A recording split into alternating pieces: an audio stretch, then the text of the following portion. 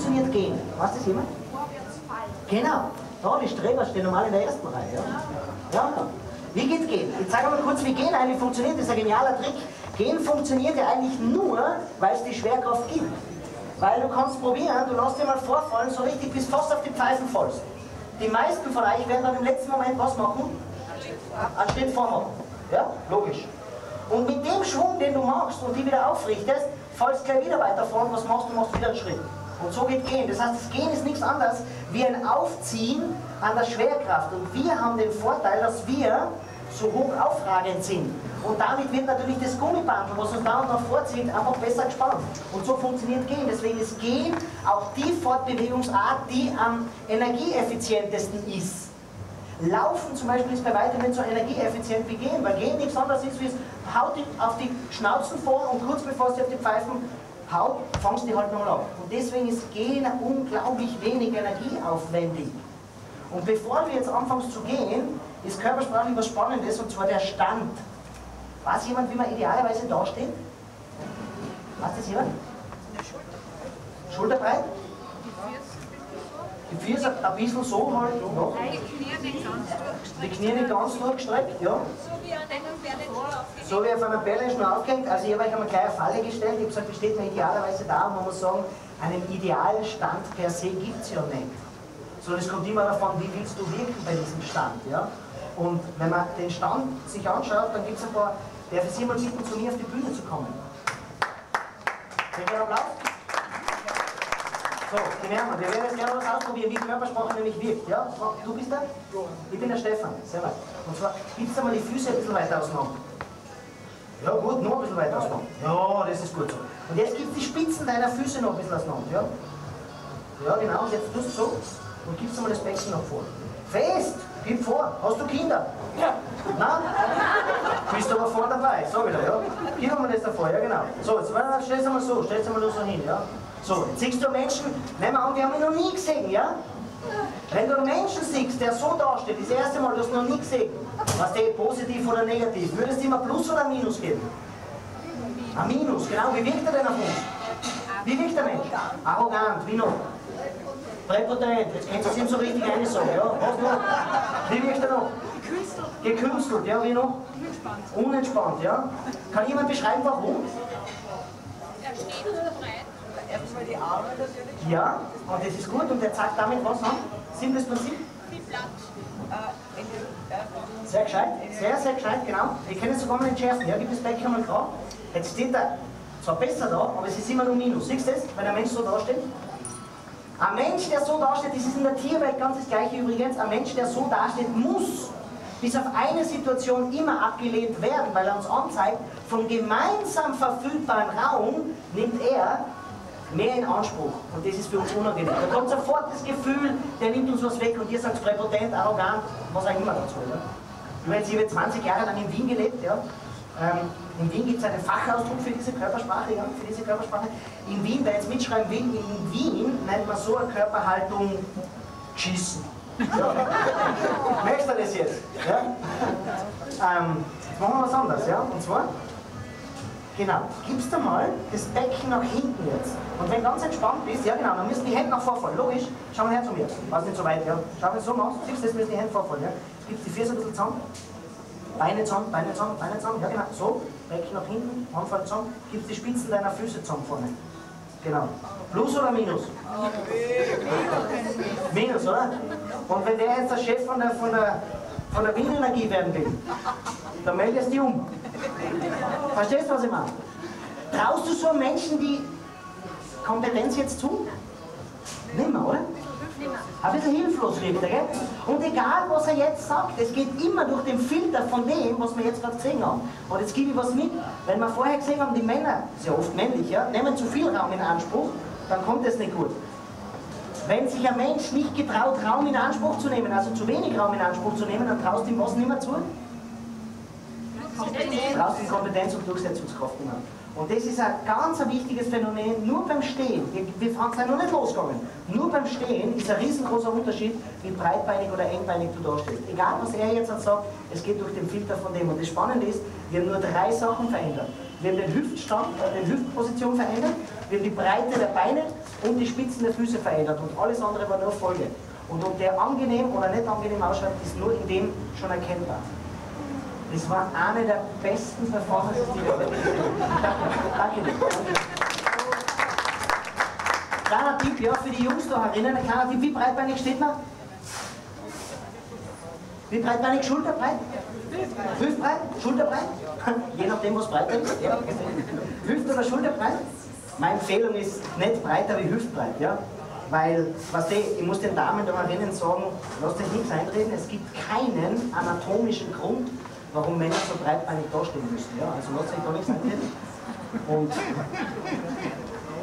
wenn du jetzt Männer anschaust, ja, die so breitbeinig dastehen, dann muss man auch dazu sagen, es gibt keinen anatomischen Grund, dass Frauen zum Beispiel so dastehen.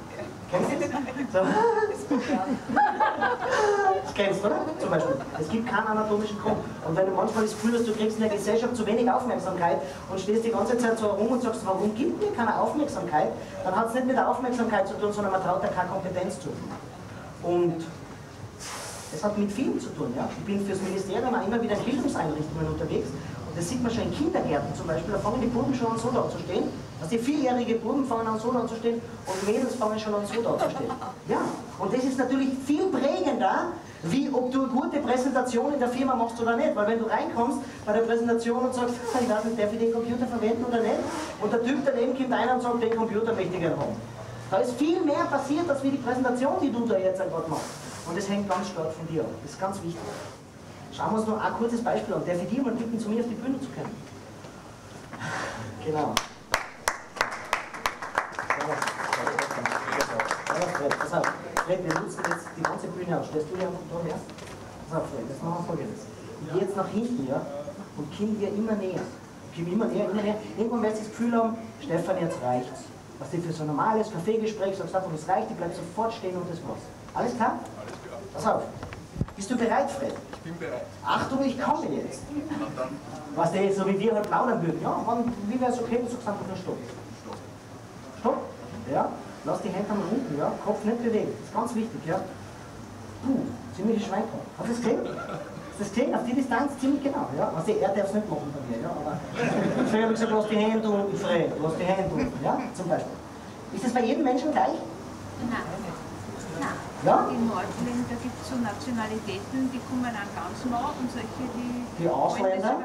Nein, es ist nach Norden und Süden verschieden. Es gibt Le äh, Leute oder Nationalitäten, wo man sich einfach näher kommt und solche, wo die Distanz Das größer schauen wir uns noch an, wie das nämlich tatsächlich ist. Machen wir es nochmal, Fred. Alles klar. Bist bereit? Wir schauen es uns gleich nochmal an. Ist es immer gleich, ja? Geht's?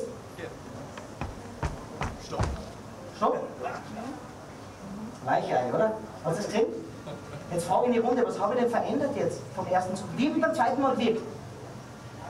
Aggressiv und bedrohlicher, oder? Und das schauen wir uns jetzt an, was ich nämlich beim Gehen körpersprachlich verändert habe.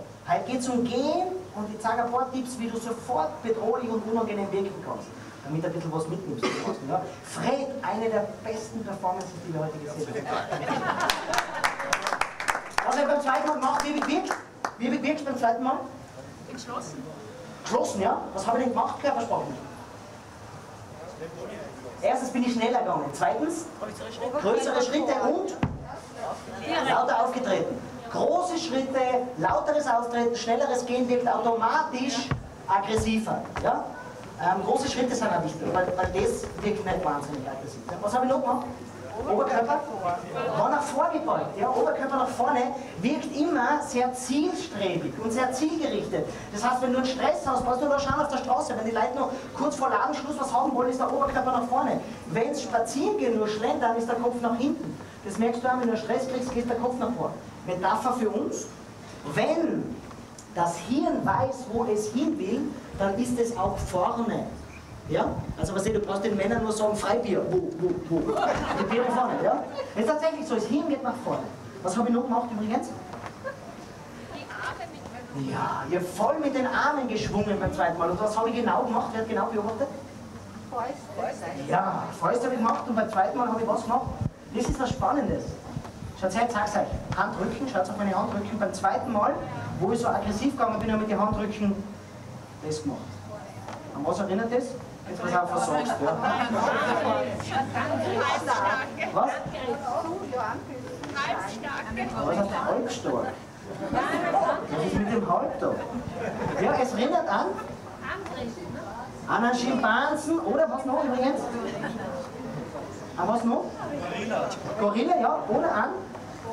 Ja, ja, genau, an Bodybuilder und sowas, ja. Was ist der Unterschied zwischen Affen und Bodybuilder ist nicht so, so groß, ja. Warum? Was tun Affen und Bodybuilder? Die machen das Gleiche. Ein Aff geht den ganzen Tag auf Baum auf, ja. Klettert irgendwo auf und trainiert somit den Muskel, das ist der Pectoralis. Der Muskel, und da hinten den Latissimus dorsi. Wenn du die zwei trainierst, passiert es automatisch, dass du da mehr Spannung hast. Was macht der Bodybuilder? Was wollen denn alle die Buben? Einen gescheiten Bizeps und trainieren da fest. Dann tun sie da auch noch ziehen, dass da aufgeblasen wird. Ein gescheiter Pectoralis und ein gescheiter Latissimus dorsi passiert automatisch. Automatisch. Das heißt, ist das eher männlich oder eher weiblich, wenn ich so gehe? Eher männlich, genau, schon, oder? Weil Männer von Natur aus diese zwei Muskeln stärker ausgebildet haben. Also beim Gehen, wenn jemand daherkommt, was die brauchst du auf die Marie-Hilfer-Straße gehen, ich mache das ganz oft, ja. Ähm, wenn Männer gehen eher so. Und es wirkt automatisch schon mehr kraftversprechend, aber auch viel bedrohlicher. Beim ersten Mal, wo mir der Fred viel näher hinlassen hat, bin ich nicht so gegangen mit den Handrücken, sondern beim ersten Mal, wie er mich näher hinlassen hat, habe ich so gemacht. Ja. Äh, Körpersprache, Körpersprache, Körpersprache ist, wärst du ein bisschen, was der, wenn jetzt aussieht, ist, wärst du ein bisschen ein Verfolgungswahn kriegen, ja? Was, gleich? Was der, ja, schaust ein bisschen und wieso geht so und es stimmt, der Hund geht wirklich so, wirst du dann sehen, ja? Und, und was der, ähm, der Verfolgungswahn wird dir ein bisschen verfolgen und das ist total gut, weil du ein bisschen bewusster mit dem umgehst. Ich schreibe übrigens jeden Montag einen Körpersprache-Tipp, sage jetzt gleich dazu, einen Körpersprache-Tipp oder eine Prominentenanalyse einfach prominente Menschen, die wir, wo wir die Körpersprache anschauen. Die Alice Schwarzer war übrigens schon dabei, weil ich sie vorher erwähnt habe. Ähm, es sind auch viele Künstler dabei, viele, Michelle Obama war zum Beispiel dabei, der Wladimir Putin war dabei. Ähm, jetzt ist gerade der Yogi Löw, der deutsche, der deutsche äh, Nationaltrainer ist jetzt gerade dran. Auch Geistesgrößen wie zum Beispiel der Daniela Katzenberger sind natürlich auch dabei. Ja. Was machen die körpersprachlich so typischerweise? Wer das haben will, ich frage mal in die Runde, wer ist auf Facebook von euch? Ist auf Facebook? Genau geht einfach her und sucht Stefan Werra, Stefan Werra und tut so Like oder Freundschaftsanfrage. Das kennt ihr einfach hin und ihr kriegt automatisch jeden Montag im Newsstream bekommt ihr diese Körpersprache-Tipps. Und am Schluss ihr mit dem anfangen und her mit dem auf, vergesst nicht zu lachen. Ja? Wenn wir jetzt ein bisschen geschmunzelt haben, geht es aus und lacht A über die Körpersprache der anderen, aber noch viel mehr lachst du über deine eigene Körpersprache. Ja? Das ist unheimlich wichtig. Und wenn du jetzt aussiehst und nimmst dich gerade so furchtbar wahnsinnig ernst, sage ich dir eins, wenn du nicht selber über die lachen kannst, dann macht das auch nichts, weil was das ist, Menschen, die nicht über sich lachen können, bei denen übernehmen das die anderen ganz, ganz gerne. Und damit sage ich euch Danke und einen schönen Abend. Danke.